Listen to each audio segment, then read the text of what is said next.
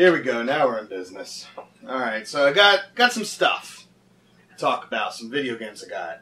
Um, getting better from something. I never really felt bad at any point, but I lost my voice. I was real mucusy, and it's kind of just like a slow burn in phases kind of sickness, where I never actually felt bad. Go figure. So we'll start with some stuff I got from my friend Kyle, and we'll start with the least spectacular. A manual for Final Fantasy IX for the PS1. It's the greatest hits version. He's like, yeah, you can just have this for free. And I know I got a copy of Final Fantasy IX. I assumed I had the manual, but turns out I didn't. Should be right behind me.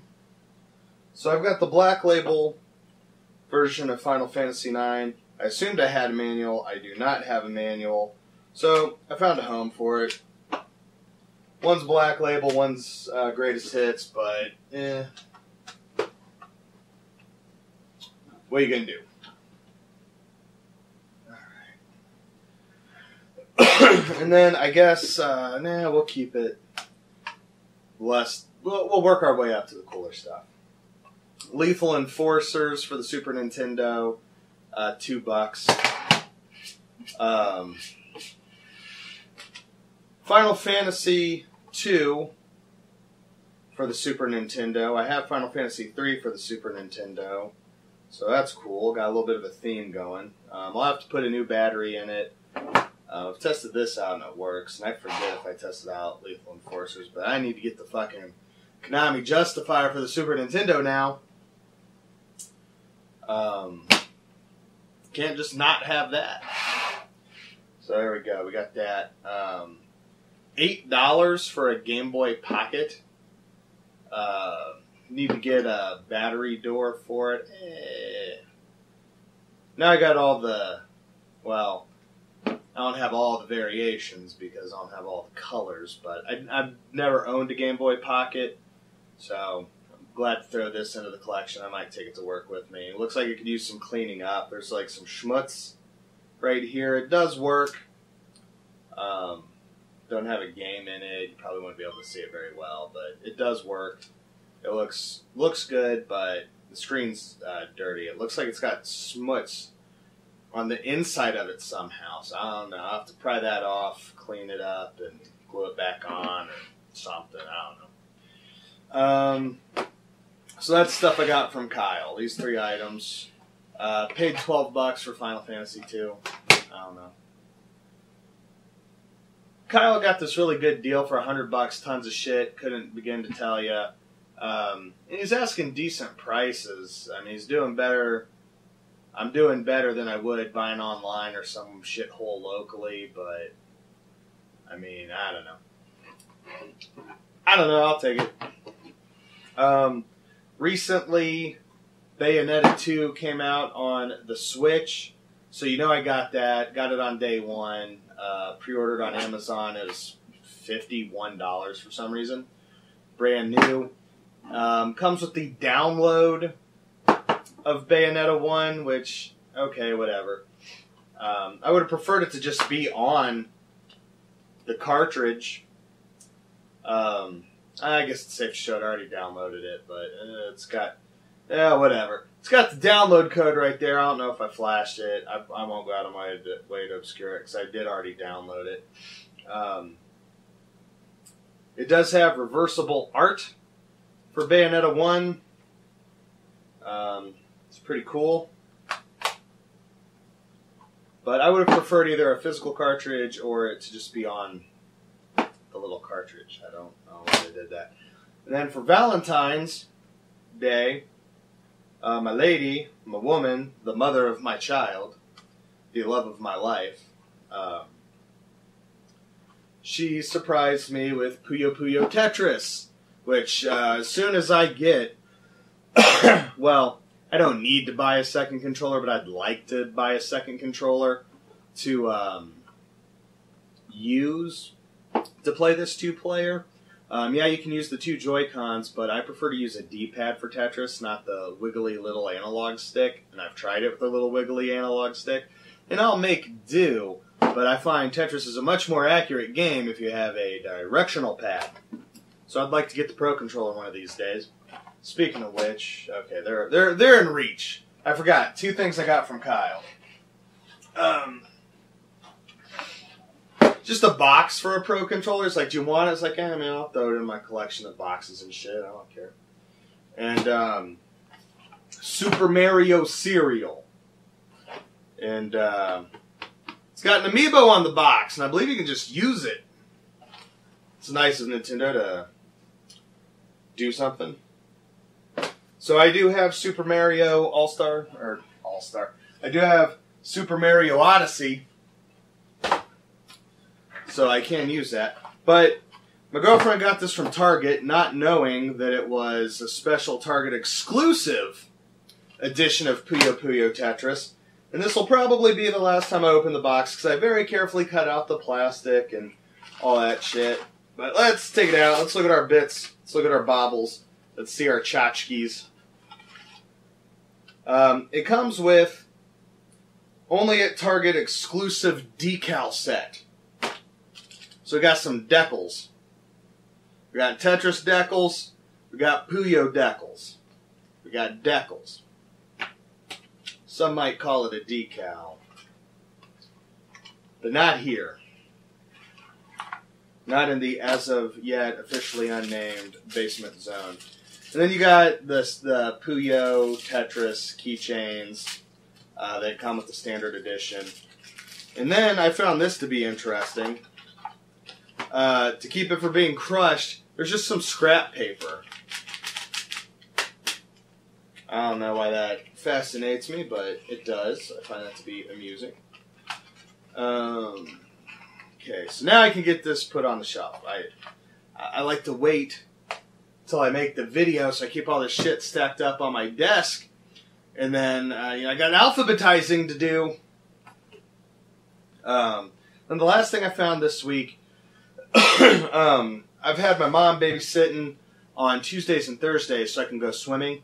So I went and swam Tuesday, and I was talking to my mom. She's asking, "Oh, how do I get to such and such uh, antiques place from here?" And I was like, "Ah, oh, how about Thursday after I swim, we just go together?" So she was agreeable to this idea. And Thursday comes around, I'm still feeling like shit. My swim time was like five minutes slow on Tuesday because I skipped three weeks of swimming. I wasn't really sure how my time would go, but my lungs are at 100%, so I imagine that had a big impact. Um, kept like coughing, and the lifeguards thought I was drowning. Um, so it's like, okay, well, change of plans. Thursday, I'll I'll do some running, and then it was rainy, and I've been like all congested and gross. So uh, I was like, how about we just go to the place? So I did see some video game things, and I snapped some pictures of it, but I can tell you right now, I'm probably not going to put that in the video because um, the way my job's going, I'm going to end up, I'm working seven days in a row this week. So this is Saturday, I just got off work. Uh, my girlfriend's got the kids at this volleyball thing. It's fucking stupid. Um, I've fucking stupid. That's what it is. But they're there, so I was like, ah, I got a little time. I don't know what to do with myself, so I'm doing this. But we get to this uh, place, and I did snap a couple pictures. I'll go over what I found. Uh, the most interesting thing I found is these, but I also saw a PS1 controller, not the DualShock, um, the basic one, for nine dollars. Uh, saw a Sega Genesis six button arcade stick for I think also nine or ten dollars, and I, I thought about it, didn't get it. A third party Super Nintendo controller. It was the clear plastic shell, um, tight. I don't know, it's ugly. Didn't care for it. They had like three sports ball Super Nintendo games, three sports ball Sega Genesis games, and like five bucks a piece on each of those sports ball games. I don't know what the fuck they're thinking. They're probably thinking, oh, video games are worth money. They're not. Not when they're sports ball games. Um, saw some arcade machine marquees in a box. Saw the backboard of a uh, pinball table, you know, where it like lights up and has like the score and shit. Disco Fever, I believe. Um, what else did we see?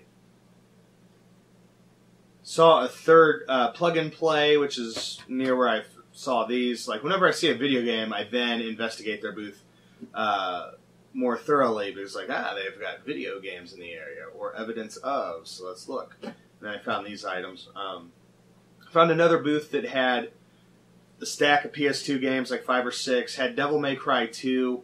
Wanted five dollars and fifty cents for it. Um, I'll pass.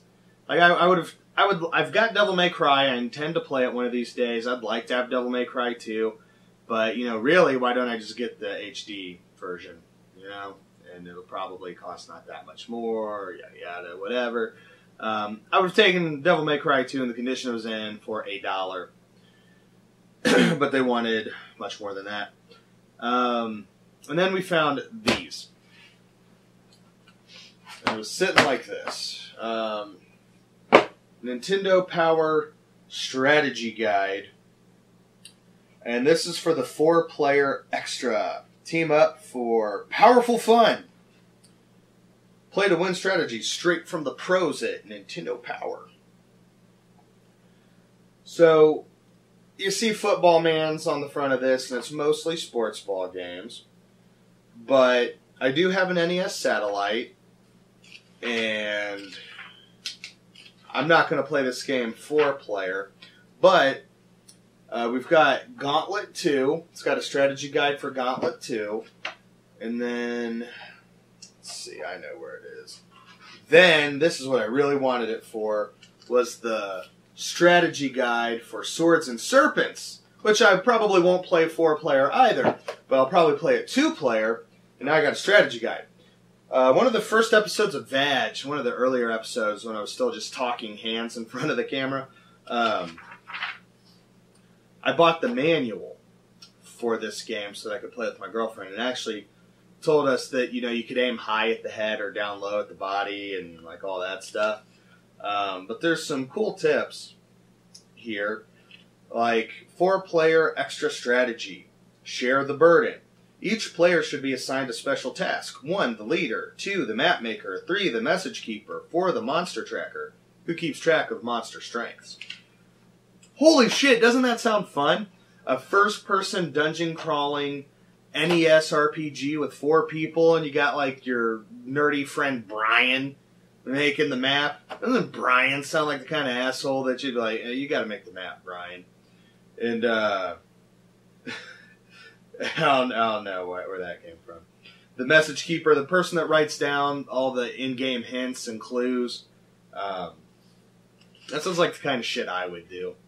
I do that anyway.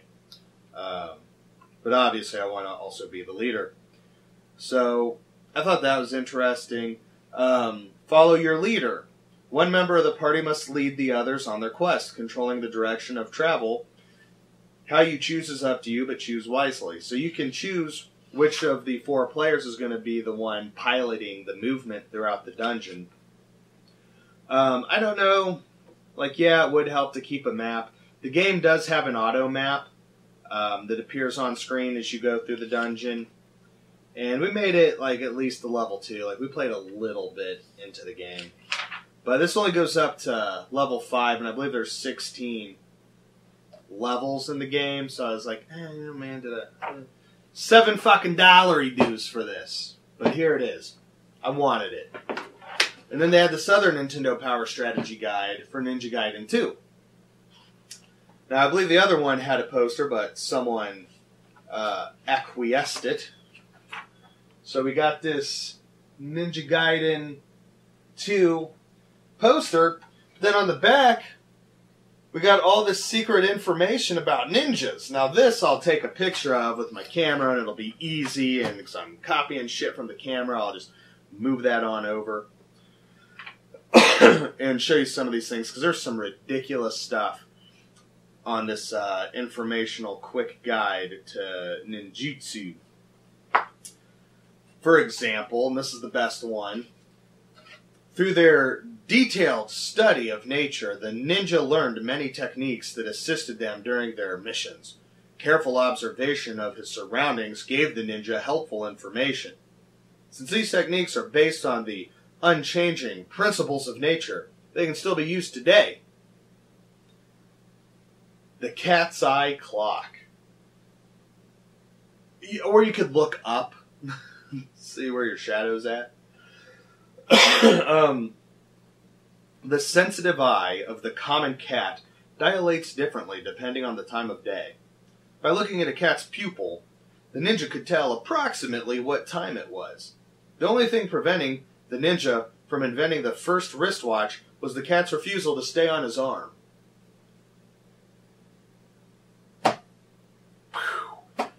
Like it, it takes away from the rest of this ninja information the ridiculousness of that fucking claim. What if the cat's inside? What if it's nighttime? Just uh, see where your shadow's at. Is it high noon? Is the sun going down? Like, come on. Come on, fella. Fucking ninja knowledge. The tree compass. A tree's growth rings, affected by the sun's position in the sky, are further apart on the south side of the tree than on the north side. A ninja armed with this knowledge could use a fallen tree in the forest as a compass. Um, I mean, I guess they don't know where the moss grows in Japan. Uh, maybe they don't have tree moss. I don't know. I've never been in a Japanese forest. Um, I could see this possibly helping you on a cloudy day in a moss-free forest where there happens to be a fallen tree. I'm sure once in the history of planet Earth, someone got pointed in the right direction because of this secret ninja knowledge. Then the rest of it's like, here's their shoes. They didn't wear armor. Here's this gay, like, metal brazier that a lady has, a shuriken, a climbing tool, how to make a ninja mask. That stuff's cool. Um, all the cool things you do with the ninja sword, like using it as a snorkel, the sheath. And then we just got a walkthrough of uh, Ninja Gaiden here. So that is cool.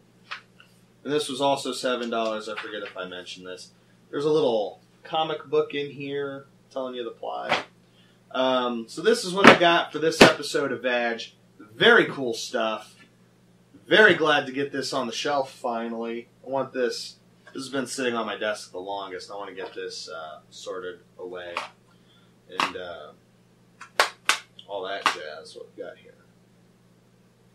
I think it, I don't know. Just I don't know how I feel about it. Like this is the most manual you get anymore. Just like some information on the inside of the cover. I don't know. I guess it's better than nothing, but not by much. So that's what I got. Leave a comment telling me what you think. Let me know if you think that's useful informa- information telling uh, the time of day based on a cat's pupil dilation should you like have to assassinate the shinobi in exactly uh, the widest width of the cat's eye? That sounds useful and sounds great to me. Can't wait to use this information. Um, I wonder if it works when it's cloudy or if the cat's inside. I, who wrote this? Why? Of all the things I could have made up about ninjas, they made up the cat's eye clock. I don't know. Thanks for watching. Leave a comment. Tell me what you think about ninjutsu. Let me know what you think about Bayonetta and Final Fantasy II. Which version of Lethal Enforcers is the best? Sega CD, Genesis, or Super Nintendo? I don't know. I think I've only ever played the Sega CD version. Thanks for watching.